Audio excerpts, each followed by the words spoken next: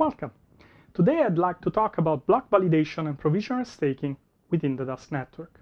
The Dusk network consensus algorithm, called the Segregated Byzantine Agreement, consists of two phases, the block generation and the block validation. During the block generation phase, potential round leaders submit their own block of transactions to the network.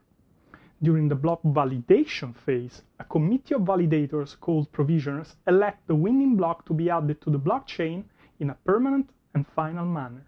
In this video, I will dive into the second phase, the steps performed by the provisioners and the provisioner committee.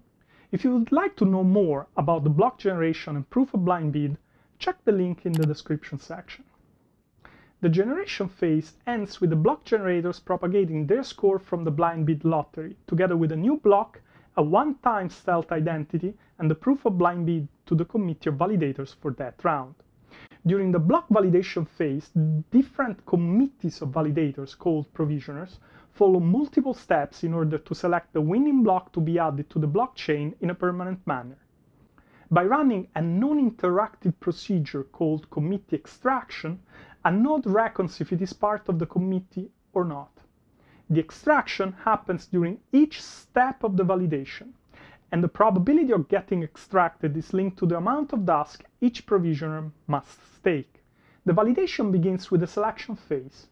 If it is collecting the highest score associated to a block, a node extracted to be in the committee during the selection phase picks the candidate block associated to the highest score it sees, and at the end of that phase, it propagates its pick to the network, and the reduction step can begin.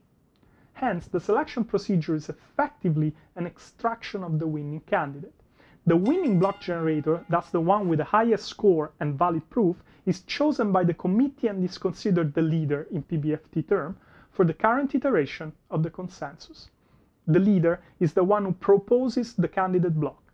Thanks to our proof of blind bid algorithm, the identity of the block generator remains anonymous throughout the entire process.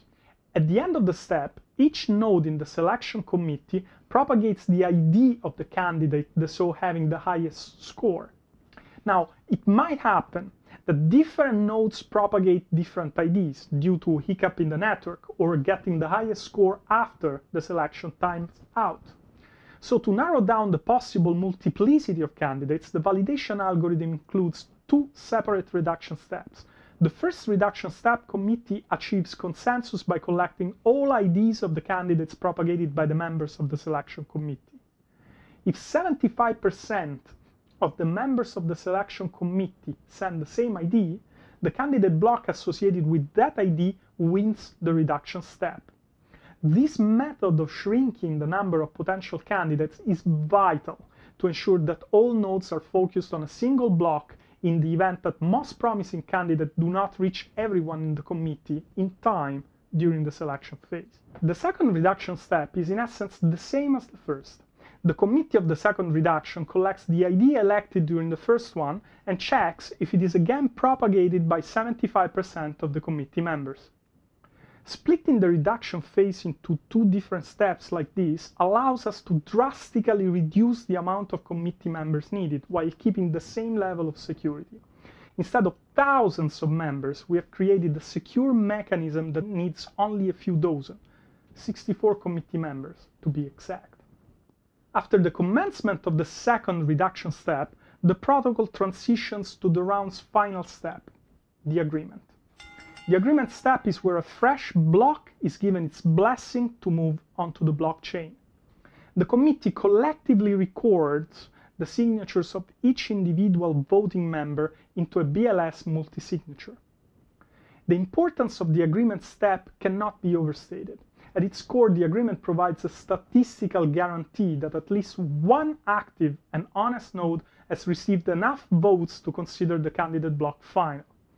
Once completed, reverting transactions within the accepted block becomes probabilistically impossible.